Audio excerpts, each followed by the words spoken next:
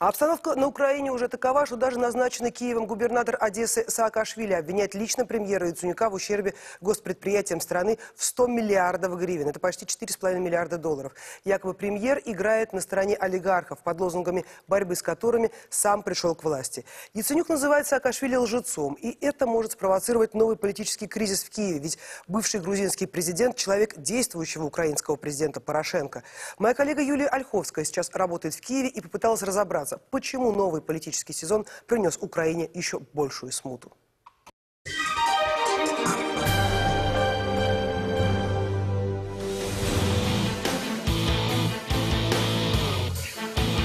Разъяренная толпа избивала у стен украинского парламента сотрудников правоохранительных органов, многие в Киеве вспомнили, что точно так же полтора года назад начинался Майдан. Правда, теперь те, кто раньше был по одну сторону баррикад, называют друг друга предателями и врагами. Среди арестованных судом 18 участников беспорядков члены партии «Свобода», во время Майдана объявленные новой властью героями революции, а теперь ставшие подозреваемыми в организации теракта. Полторы сотни человек ранены, трое солдат погибли. Одного из них, как заявил министр здравоохранения Квиташвили, не смогли спасти, потому что в больнице не было препарата для остановки кровотечения. Вот на Майдане и после Майдана немного говорили о том, что вот теперь будет новая Украина, теперь будет все по-новому, они будут жить теперь по-новому и так далее. Но на самом деле мы видим ту же самую э, э, бесконечную э, интриганскую политику, которая была свойственна для постсоветской Украины, с постоянной продажей и отсутствием каких-либо принципов. Только теперь эта политика помножена на насилие. Причем насилие вооруженное и, э, так сказать, обильно орошается кровью. Все украинские аналитические издания в эти дни выходят с похожими заголовками. Кровавое голосование, кровавая конституция. Несмотря на то, что поправки в основной закон Украины сугубо рамочные, риторику Киева быстро подхватили в Вашингтоне. В сюжете американской CNN, не вдаваясь в подробности, утверждают, что столкновения между протестующими начались после того, как парламент поддержал документ, предоставляющий провозглашенным республикам автономию. Уличные бои начали украинские националисты, протестующие против парламента, который только что одобрил предоставление автономии восточным регионам. Либо американский журналист не читал текст поправок, либо сознательно перевернул факты, потому что, во-первых, изменения еще не приняты, депутаты за них проголосовали только в первом чтении, а во-вторых, никакой особый статус и уж тем более автономию Донбассу документ не гарантирует. Жодного слова про особливий статус. Ни одного слова про особый статус нет в Конституции Украины. Вы можете проверить каждое мое слово. Дьявол, как известно, в деталях. От них, по сути, зависит и дальнейшая судьба Минских соглашений. Закон об особом статусе принят, но заработает только после местных выборов по украинскому закону, который Киев в провозглашенных республиках проводить не хочет. Однако зарубежную прессу детали эти не интересуют. Зритель должен усвоить главное, что президент пытается менять Конституцию в тяжелых условиях. И что виновата во всем происходящем на Украине Россия. Позже в эфире уже британского канала Sky News Порошенко обвинил в войне под Радой Россию, которая, согласно проекту новой украинской военной доктрины, для Киева теперь официальный противник. Most probably this is one of the most difficult position. Возможно, сейчас это самая тяжелая работа, и быть президентом Украины сегодня сложнее, чем главой какой-либо другой страны. Это правда не просто быть лидером государства, которое подверглось агрессии со стороны Российской Федерации. Но я горд быть лидером украинской нации. Рука Москвы Киеву сейчас мерещится, кажется, во всем. При этом политиков совсем не смущает, что их заявления противоречат друг другу. Одни уверяют, что поправки в украинскую конституцию на самом деле писали российские агенты. Другие, что они же устроили протест под Радой против этой конституции. Третьи оказались еще более изобретательными, заявив, что российскими агентами являются члены партии «Свобода». Националисты на такие обвинения обиделись. Про мене, е, про українського націоналіста, говорять, що я представник Про меня, украинского националиста, говорят, что я представитель партии, который является рукой Москвы. Что же получается? Партия «Свобода» была рукой Москвы, когда мы сбрасывали Януковича? Те, кто так считает, на самом деле обанкротившиеся политики, которые не имеют других аргументов, чтобы оправдать собственную измену. збанкрутілі політики. Сейчас и президент ищет крайнего. Они использовали свободу для захвата власти. Сегодня говорят о том, что свобода контролируется, финансируется э, Кремлем. Для чего это необходимо? Для того, чтобы попытаться расправиться с этой радикальной силой, которая уже требует смещения самого Порошенко.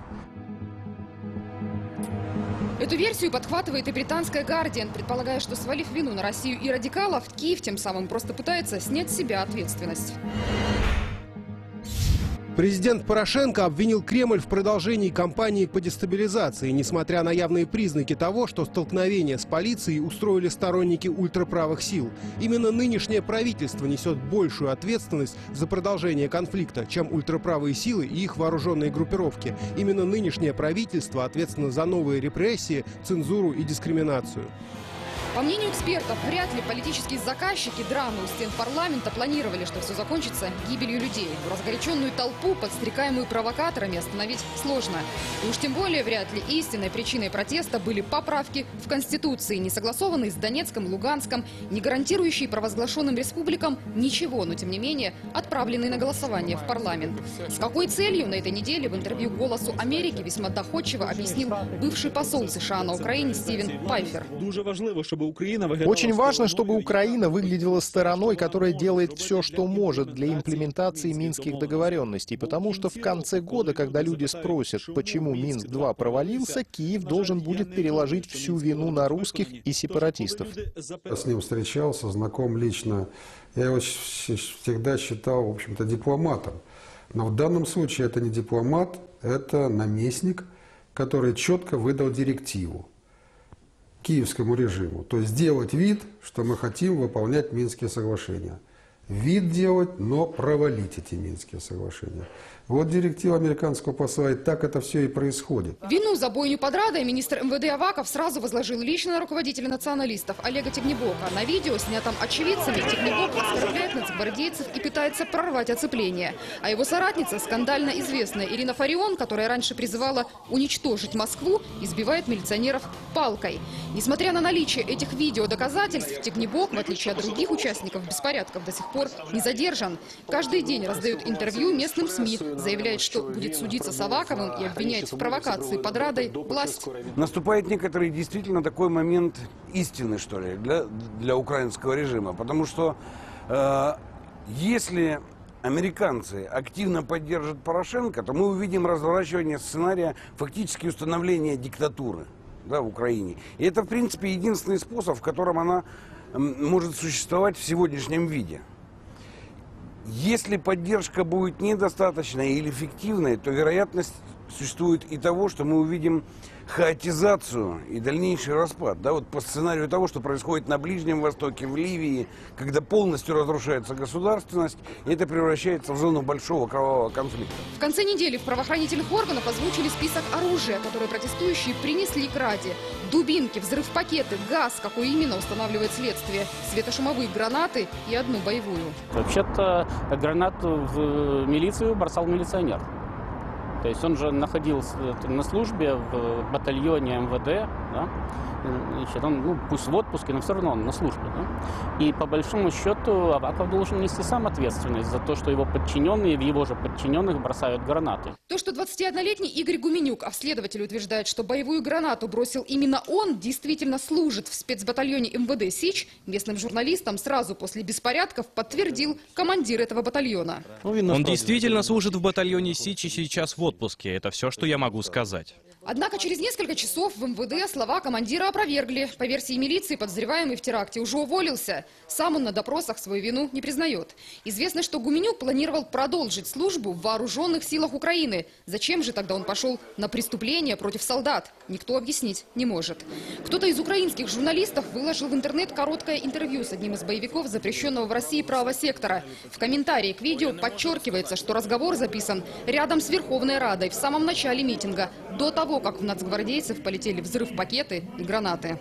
Ну, дивитися на цей цирк хлопці в театральній постановці там. Посмотрите на этот цирк. Хлопцы в театральной постановке потолкались, сцену не трогают, на камеру толкаются. Это не уровень правого сектора. Наверное, будем делать как Аун Бандеры. Взрывать на местах. Слава Украине. Слава Украине. При этом в МВД уже заявили, что правый сектор в беспорядках у Верховной Рады участие не принимал. Правый сектор – это очень тесно аффилированная с рядом международных политических игроков структура. Это определенная болевая точка. Недавно правый сектор снял музыкальный видеоролик, весьма оскорбительный и направленный в адрес президента Украины Порошенко. Это своеобразное предупреждение. Послушай, Петя, нам все это надоело. Наобещал, теперь давай берись за дело. Бо мы готовы спрашивать как с гада. Нам тоже хочется бабла и шоколада. С осуждением беспорядков у Рады дружно выступили Генсек ООН, ОБСЕ, Евросоюз, Госдеп. Суть всех заявлений – протесты в демократическом государстве должны быть исключительно мирными. При этом почему-то полтора года назад, когда отнюдь не мирные протестующие избивали сотрудников Беркута и закидывали их бутылками с зажигательной смесью, Запад рекомендовал ни при каких обстоятельствах не применять силу против митингующих, которых тогда никто не осуждал. Остается ряд вопросов, на которые пока нет ответов. В правоохранительных органах утверждают, что заранее знали о готовящихся в день голосования за поправки в Конституции и провокациях у парламента. Почему тогда служба безопасности Украины и милиция допустили сюда митингующих со взрыв-пакетами, оружием и гранатами? О том, что акция протеста не должна была быть рядовой, говорит и тот факт, что в понедельник над Верховной Радой летали дроны, осуществляющие съемку с воздуха. Судя по всему, кому-то важно было обеспечить хорошую картинку беспорядков. Непонятно, и был ли митинг действительно отчасти проплаченным, как утверждают журналисты украинского Пятого канала. Его, как известно, контролирует президент, а в сюжете деньги раздают людям в футболках с логотипом партии «Укроп», которую финансирует поссорившийся с Порошенко олигарх Игорь Коломойский. На этом же пятом канале губернатор Одесской области Саакашвили позже обвинил премьера Яценюка в том, что его правительство принимает решения в пользу Коломойского. По мнению экспертов, бывший губернатор Днепропетровской области планирует вернуться в украинскую политику после местных выборов и сейчас активно ищет союзников. Радикальная партия Лешко уже объявила, что уходит в оппозицию к власти. За Лешком мы сами, сами должны понимать, кто стоит. За Лешком в данном случае стоит Игорь Валерьевич Коломойский. Да? Это есть попытка Ляшка а, а, разыграть оппозиционную карту первым. Сказать, что вот, вот они власть, она несет всю ответственность за все, что происходит в стране. Падение жизненного уровня, обнищание населения. А я оппозиция, мы в оппозиции, голосуйте за нас мы вам э, сделаем лучше, чем действующая власть. Теперь на депутатов-радикалов в блоке Порошенко смотрят как на предателей, намеренно разваливающих с таким трудом созданную коалицию. Словесная перепалка в эфире одной из местных телекомпаний закончилась кулачным боем. Один депутат сломал другому ребро, после чего председатель президентской фракции Юрий Луценко заявил, что рассорившийся украинский парламент сейчас как мумия в мавзолее, абсолютно не жизнеспособен. Юлия Ольховская, Анна Ток, Екатерина Белова и Александр Гусев. Первый канал. Украина.